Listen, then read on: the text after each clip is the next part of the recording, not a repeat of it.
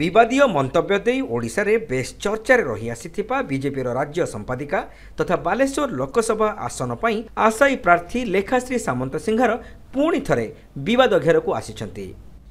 ଗତ ମଙ୍ଗଳବାର ଦିନ ଭୁବନେଶ୍ୱରଠାରେ ବିଜେପି କାର୍ଯ୍ୟାଳୟରେ ଏକ ସାମ୍ବାଦିକ ସମ୍ମିଳନୀ ଡାକି ଲେଖାଶ୍ରୀ ବାଲେଶ୍ୱର ସାଂସଦ ରବୀନ୍ଦ୍ର ଜେନାଙ୍କୁ ତୀବ୍ର ସମାଲୋଚନା କରିଥିଲେ।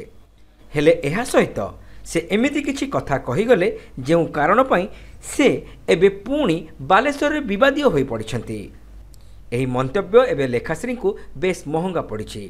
ବାଲେଶ୍ୱରର ସାମ୍ବାଦିକ ମହଲ ଏହି ମନ୍ତବ୍ୟକୁ ନେଇ ତାଙ୍କୁ ତୀବ୍ର ସମାଲୋଚନା କରିବା ସହିତ ତାଙ୍କ ଉପରେ ଅସନ୍ତୁଷ୍ଟ ଅଛନ୍ତି। ଯେହେତୁ ସେ ବାଲେଶ୍ୱରର ଗଣମାଧ୍ୟମ ବନ୍ଧୁମାନଙ୍କୁ ଡରେଇ ଧମକେଇ ସବୁ ପ୍ରକାରର ନ୍ୟୁଜକୁ ଚାପି ଦେବା ପାଇଁ ଅପଚେଷ୍ଟା କରୁଛନ୍ତି। ମୁଁ ସେଇଥିପାଇଁ ଆଜି ବାଧ୍ୟ ହେଲି ବାଲେଶ୍ୱର ବିଷୟ ଭୁବନେଶ୍ୱର ହେଡକ୍ୱାର୍ଟରରୁ କହିବା ପାଇଁ। ବାରମ୍ବାର କହିବା ସତ୍ତ୍ୱେ ବି ସେଇଠି କହିବା ସତ୍ତ୍ୱେ ବି ସିଏ ଅପର୍ଯ୍ୟାପ୍ତ ଚାପ ପକାଉଛନ୍ତି ଗଣମାଧ୍ୟମର ବନ୍ଧୁମାନଙ୍କ ଉପରେ। ମୁଁ କିନ୍ତୁ ତାଙ୍କୁ କହିବାକୁ ଚାହୁଁଛି ବନ୍ଧୁମାନଙ୍କୁ ଯେ ଆମେ ଆପଣଙ୍କ ସହିତ ଅଛୁ। ଆପଣ ଦୟାକରି ସତ ନ୍ୟୁଜଟି କଭର କରନ୍ତୁ। କିଏ ଆଜି ସାଂସଦ ଅଛି କେହି କୋଳି ଖାଇକି ମଞ୍ଜି ପୋତି ନାହାନ୍ତି। ଜନତା ଯାହାକୁ ଭୋଟ ଦେବେ ସିଏ ନିର୍ବାଚିତ ହେଇକି ଯିବ। କିନ୍ତୁ କାହାକୁ ଭୋଟ ଦଉଛନ୍ତି ଜନତା ଜାଣିବାର ଅଧିକାର ରହିଛି। ବାଲେଶ୍ୱରର ସାମ୍ବାଦିକ ମହଲ ଏହି ମନ୍ତବ୍ୟକୁ ସହଜରେ ଗ୍ରହଣ କରିପାରୁନାହାନ୍ତି। ଏହାର ତୀବ୍ର ପ୍ରତିବାଦ କରିବା ସହିତ ଶନିବାର ଦିନ ଏଥିନେଇ ସାମ୍ବାଦିକମାନେ ତାଙ୍କୁ ସିଧାସଳଖ ପ୍ରଶ୍ନ କରିଥିଲେ।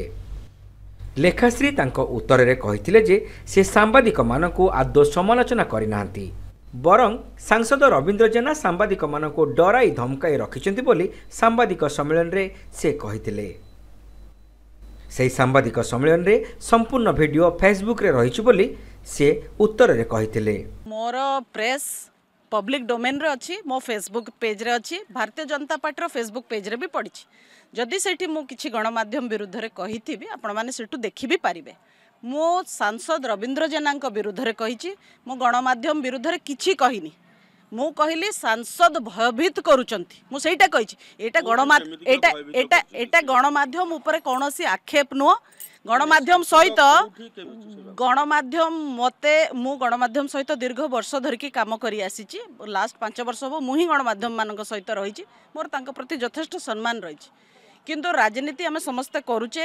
ରାଜନୀତି କରୁଛେ ବୋଲି ଯେ ଆମର କେବଳ ଭଲ ଜିନିଷଟା ଦେଖେଇବା ଆମର ଖରାପ ଜିନିଷଟା ଦେଖେଇବାନି ଆମର ଦବଦବା ଅଛି ଆମ ପାଖରେ ପଇସା ଅଛି ବୋଲି ସବୁ ବର୍ଗର ମୁହଁ ଚୁପ୍ କରାଇବାକୁ ଅପଚେଷ୍ଟା କରିବା ମୁଁ ଏଇଟାକୁ ପସନ୍ଦ କରେନି ବୋଲି ମୁଁ ଖୋଲେଆମ କହିଛି।